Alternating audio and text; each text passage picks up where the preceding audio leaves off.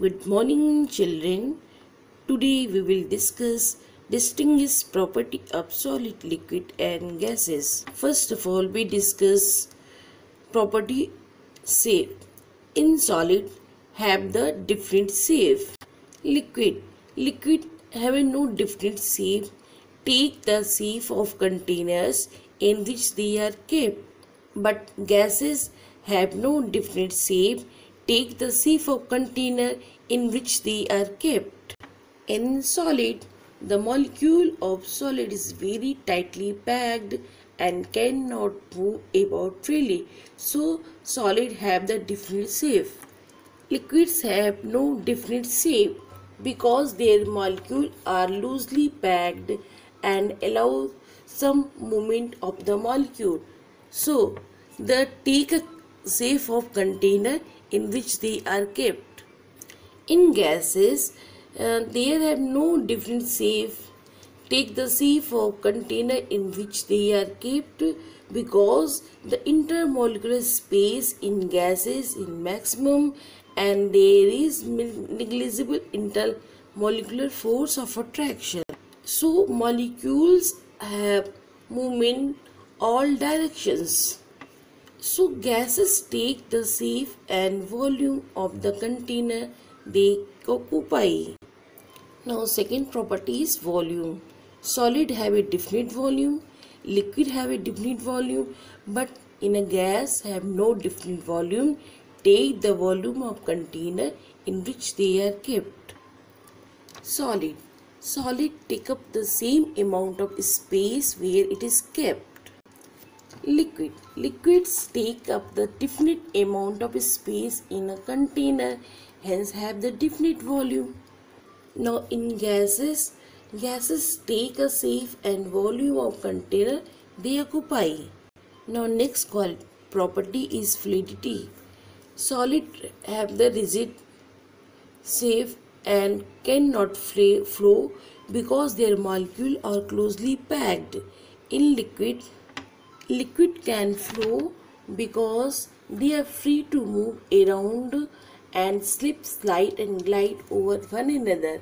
Hence liquid can flow and in gases flow easily in all directions because the molecules of gases move freely in all directions in closed container. Next properties free surface.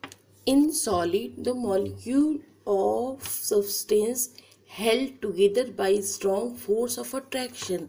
So, they do not leave their fixed position to move away from one another. So, solid have the many free surfaces. Liquids have only one free surface at the top. In gases, the molecule in gases move very quickly in all directions. As a result of this, random motion, gas do not have any free surface. Next property is space between molecules. In solid, the molecules are closely packed. They have negligible space between molecules. In liquid, molecules are loosely packed. Then they have the some space. In gases, lots of space between the molecule. Now next property attraction between molecules. In solid, the molecules are closely packed. They held together by strong force of attraction. In liquid, the molecule have the less force of attraction as compared to the solid. And in liquid, in a gas, molecules apart from each other, they held together negligible force of attractions. Next property movement of molecules. In solid, only molecules are, are vibrate at their fixed position. In liquid, it move around within the liquid and in gases move freely in all directions. Now next property compressibility. In solid generally not compressible because they have no intermolecular space between them. In liquid slightly compressible because molecules have the some space and gases are highly compressible because they have the lot of space in molecules. Due to this activity, we can compare the compressibility of solid, liquid and gases. In figure given the three syringes, A filled with the solid sand, B filled with the liquid means water and C is empty means filled with the air. Now try to compress the content by pushing the piston in each syringe. What we observe that the piston can be easily pushed into the syringe that is empty because it contains air. The piston syringe that contains water move only slightly when the pressure is applied and the piston of the syringe containing solid means sand does not move at all.